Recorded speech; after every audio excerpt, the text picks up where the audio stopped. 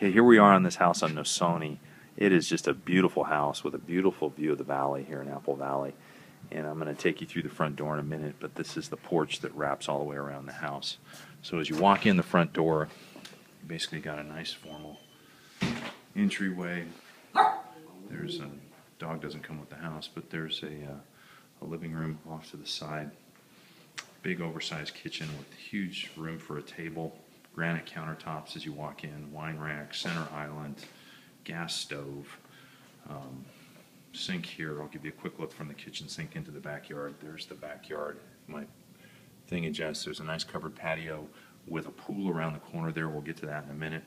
There's just a ton of storage in this house. So here's a closet or a pantry. This is a big work area, laundry room.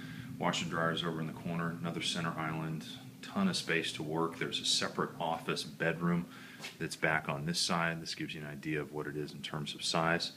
Um, there's a half bath straight ahead um, that you can see along with the sink. I'll close that for you. Here's some more storage. This is another huge oversized pantry. We're just going to take a quick look as we go into the garage. This is a four car garage. There's storage uh, on both sides on the far end uh, with a shed that opens to the outside, as well as over here to the right behind this refrigerator there. So as we walk back in, we're going to go through the kitchen and into the main family room, and then there's going to be a long hallway where all the bedrooms are located, other than the one that I already showed you. So here's the here's the here's the uh, main living room.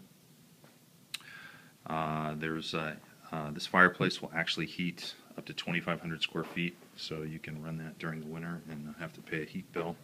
And then I'm just going to walk you down this long hall. I'll turn around so you can get a feel for it, and then just a quick view of the, of the bedrooms.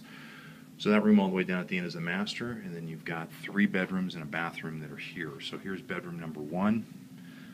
Walk down the hall, and then you got bedroom number two. Midway through, you've got granite countertops, toilet, and a step-in shower.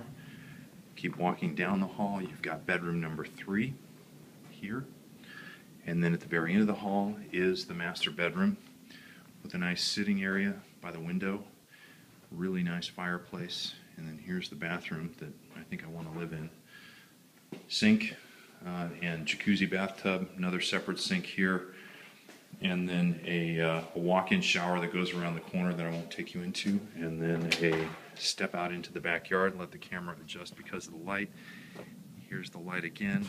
That kind of shows the, the back of the garage. This is the covered patio that you saw before. And then if I spin around, here is the pool.